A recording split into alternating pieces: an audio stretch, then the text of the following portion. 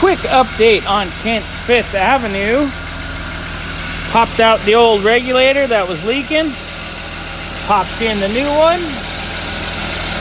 It's Good to go. Car is now drivable. Kent's gonna be happy and he'll actually be here any minute. Cause we gotta move some cars around in here.